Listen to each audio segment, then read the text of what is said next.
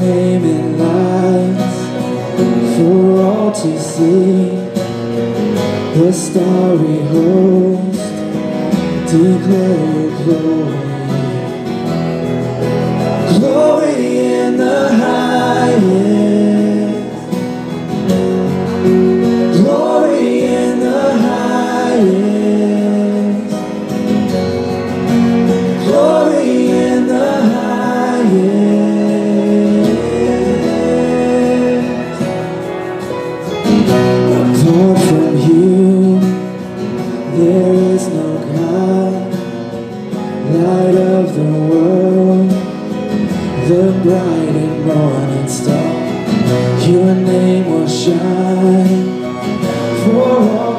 See.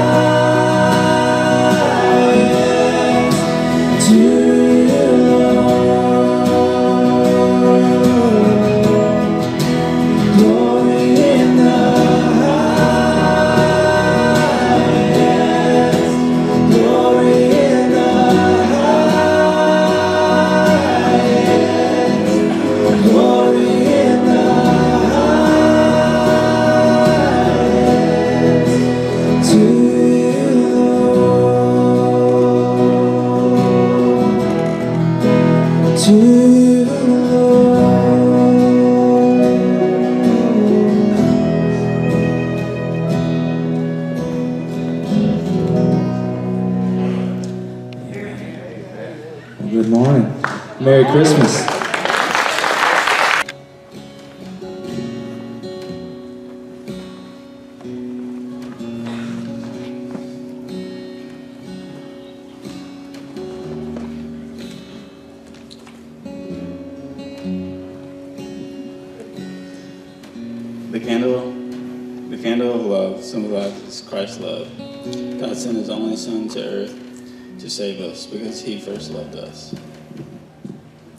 John 3, 16 through 17.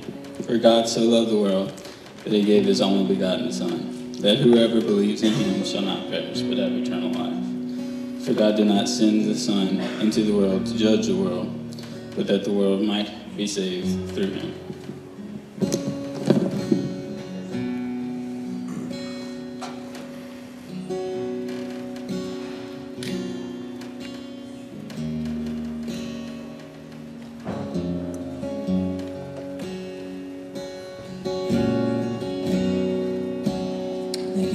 If you would stand with us again as we sing this final song this morning, I pray. I just did this for you. He told the existing rulers that if he had a kingdom, it was not in direct competition with theirs. And though he seemed to alienate the rich and powerful, he died an ignoble death. He died the kind of death that was meant for thieves, scalawags, people who, who were not honored. You see, in Roman times, if you were going to receive a clean death, instead of being beheaded or put on a cross to be humiliated, they would stab you through your spine to kill you instantly so that you wouldn't have to feel the pain, and it would leave yourself intact so that at your burial, everything on the front of you looked okay.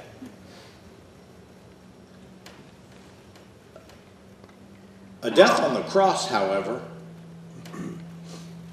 is kind of prettied up by Hollywood standards. Because when you were whipped, you were stripped naked in front of a crowd. You were humiliated completely. And you were left to hang there and die, and you asphyxiated based off of your inability to pull yourself up to take a breath until you tired to the point of exhaustion. And while that person screamed on a cross, people would watch. But here's the kicker Jesus said, Nobody takes my life from me. I'm going to give it up willingly. And he goes to this with a purpose. Well, that makes a little bit deeper of a love. The key in this promise made by God is found through the prophet Nathan to David in 2 Samuel chapter 7. We see some interesting history here. We see how uh, a track was set for King David for this high office that he was called to. He would follow up with King Saul's up and down leadership. King David would, would follow and not be uh, a guy normally you would think would be a king. You see, the people picked Saul because the scripture says he was head and shoulders above everybody else. All the normal average guys, King Saul was head and shoulders above all of them. He stuck out a good foot above everybody around him. He looked like a king. David, the scripture describes as a ruddy guy, ruddy skin, reddish hair he, he doesn't look like that guy who played him in, in, in, uh, for Hollywood. He's not this good-looking guy who, who is who is acting out. He, was a guy who was a ruddy-skinned, reddish hair, shorter guy. He wasn't a likely king. But how would we know, as we look at this picture, that Jesus comes on and the scripture describes him as being comely. He was a guy who just didn't stick out of the crowd. He didn't seem like a likely king. Watch this. It would be by his purposeful actions for you and for me. His choice to grow up and head into Jerusalem, like I've said so many times, and walk out with a cross. King Jesus and although David was an unlikely king, God would have to step in and intercede with a lot of the things that David struggled with. His desires to serve the Lord were big. He wanted to build a palace, but it wouldn't be David that built the temple. It would be his son. Now, God would build a house for David. And as David took uh, the throne, which is the Ark of the Covenant, around and brought it into Jerusalem and moved, according to 2 Samuel chapter 6, the, the uh, capital to Jerusalem, he did his best to honor God.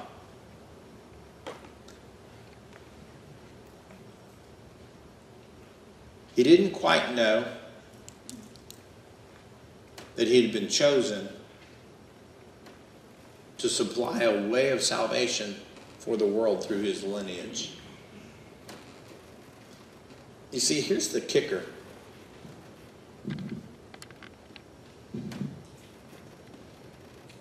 God sees our failings and then purposes to give you a way out of that. God sees where we fall on our face and he says, I've got a better way for you to live. Watch this, church. God sees you struggling in a relationship or with your kids or in your work. And he says again, follow me. For in Christ, we have hope. In Christ, we have joy. In Christ, we find love as we look at these things and we try to put them together, when we hear sermons and we talk about this Jesus and we know that he's this guy who sacrificed himself for us, I think we miss the gravity of the situation. He's not asking to be a band aid over a bullet hole. He's not asking to be your quick fix.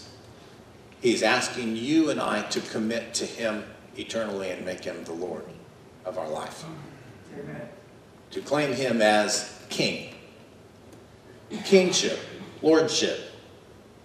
To make Him King means we would submit to the authority of who He is, watch this, in every aspect of our life.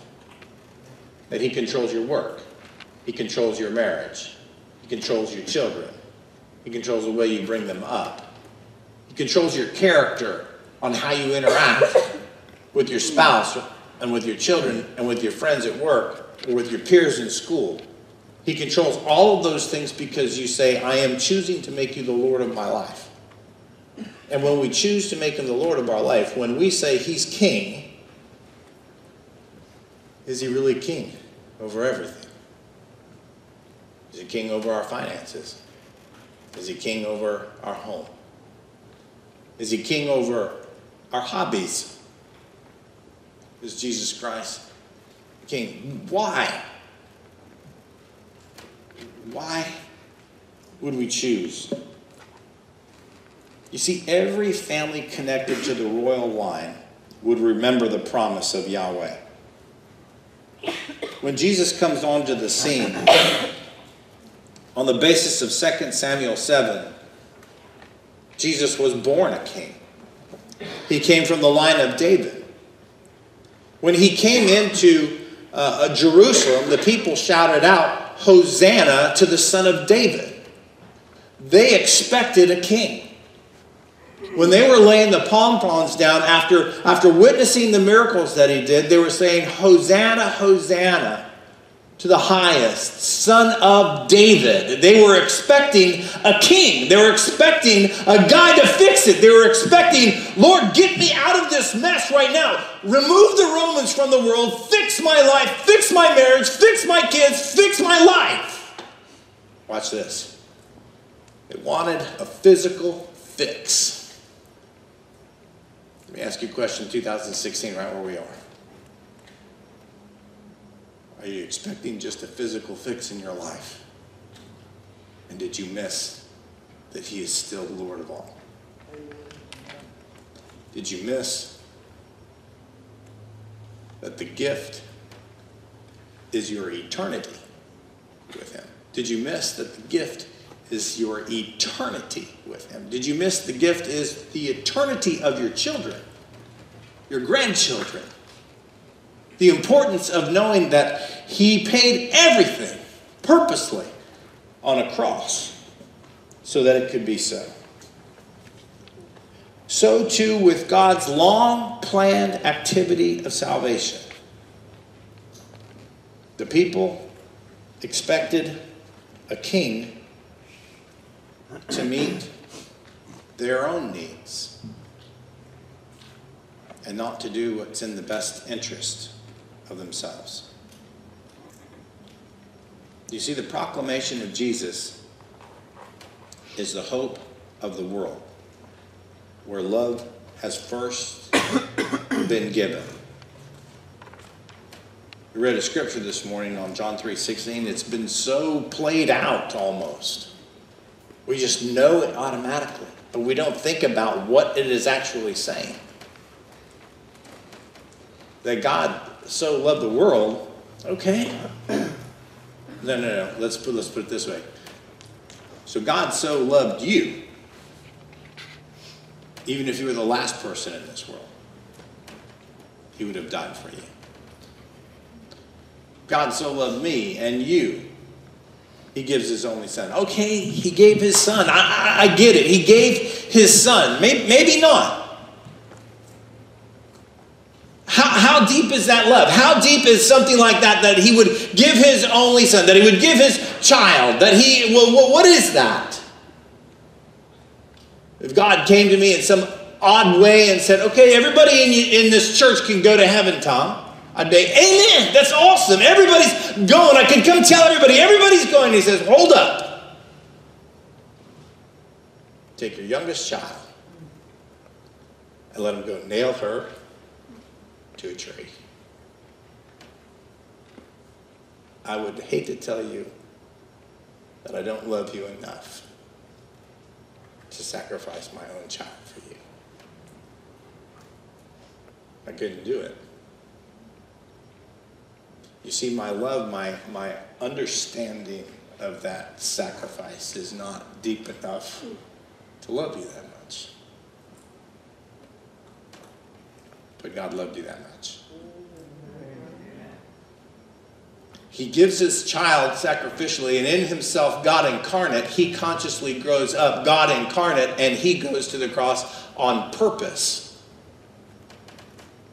If you've not seen Ben Hur, the new version of it, there's smatterings of Jesus throughout this thing. If you saw the old one, uh, you'll recall there's a scene where at the end of the movie, Judah Ben Hur is restored to his name. And in the beginning of the movie, Jesus encounters him and tells him that you need to love your enemies. And he says, That's stupid, basically, and he walks off. Midway through the movie, while he is being beaten, Jesus is the one who comes and gives him a cold cup of water. That's his encounter with him. And then, all the way near the end of the movie, Jesus encounters him, or he encounters Jesus on the road to Golgotha carrying a cross. And he goes to give him a cup of water, and the Roman soldier won't let him. And he was apologetically wanting to tell Jesus, Man, I, I, I'm sorry. I tried to get you a cup of water. I, I tried to do this for you. And Jesus says something very poignant that is scriptural he says, I'm choosing to give my life. And it hits him. God purposely chooses to give his life for you. That even while we were yet sinning, Christ died for us. He says, in the middle of what you're doing, in the middle of what you're choosing to do, I'm going to die for you. And guess what? You don't have any say in it. I give my life of my own accord. It's an important scripture verse we all need to understand. It comes out of the Gospel of John, chapter 10 and verse 18. No one has taken my life away from me, but I lay it down on my own initiative. I have authority to lay it down, and I have the authority to take it back up. Jesus dies because he loves you, and he loves me. Watch this. Even while we're doing all the stupid stuff that we do, even while we're doing all the stuff that we hide, even while we're doing all the things that we fail so miserably at, he still says, I'm going to die purposely for you. Now, here's the kicker. Will we live for him? Will you accept lordship? Will you accept him to be your king? So it is with Jesus. The proclamation of Jesus is the hope of the world, and love has first been given, so it is with him. Number one, providence. God gave unique testimony of love through the nation of Israel. He purposed to bring you and I and reconcile us back to him in a fallen world. He elects the nation of Israel he takes the one son and he elects the nation of Israel and he says, I am going to purpose to bring you back into a relationship with me. Providence. Revelation, then, God comes to live with us in the person of Jesus Christ. So that he can be tempted, so that he can know everything you've gone and everything you've been subject to and everything you've ever been tempted by. So that he can say on the cross, It is finished. Amen. So that three, salvation. Out of love, God reconciles the world to himself.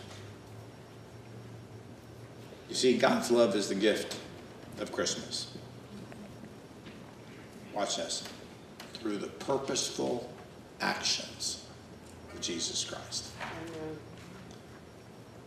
Now watch. Will you purposely, in everything you do, will you purposely live for Him? Let's stand up. Our Heavenly